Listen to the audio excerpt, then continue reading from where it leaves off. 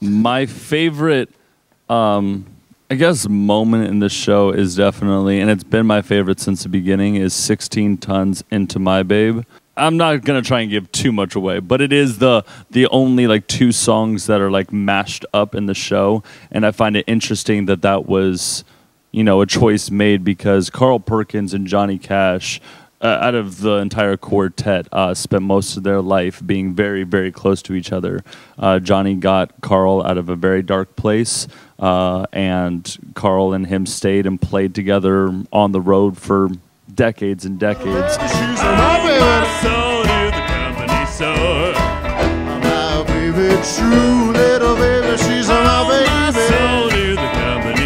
That one of my favorite moments actually is kind of stripping it all down um, and doing Peace in the Valley.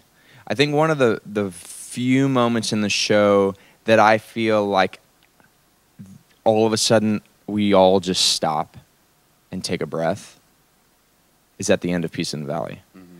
And it's the most grounding part for me, especially as Elvis, because it is that moment that he goes back to his roots a bit more. You know, you, you kind of strip away that, like, like I was talking about, that joyous, playful, charismatic uh, Elvis and you go r- all the way back to where he, you know, music spawned for him. There will be peace in the valley for me someday.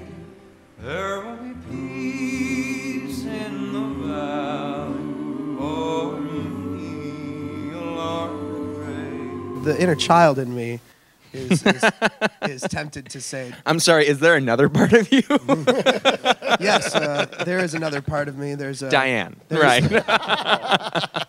the inner child in me would definitely be tempted to say jumping off of a piano. Oh right. Every night. Right. That's that's like a dream. A Not to give anything away. True. Um, Man, you.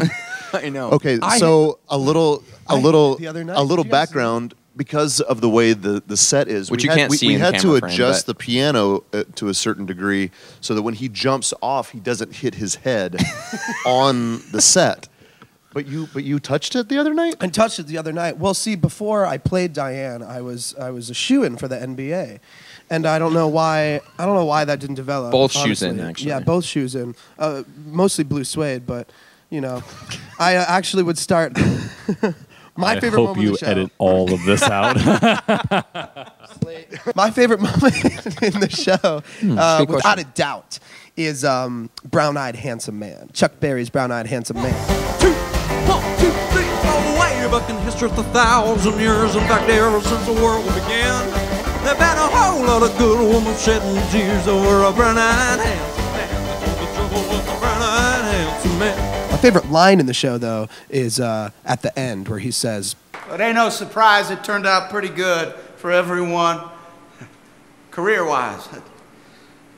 I just wish every one of them boys had a little more happiness in their lives.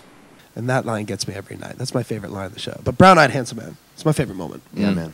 I, I love the song "Long Tall Sally" because the energy that, that comes out of it um, uh, is is really exciting, and plus the guy that plays bass, uh, Zach Lentino, gets to show off his amazing bass skills.